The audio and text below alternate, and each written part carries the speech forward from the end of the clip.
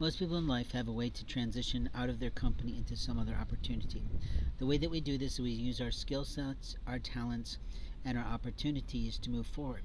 We partner with people from the past, we find new opportunities for the future, and we make a living off of what sells.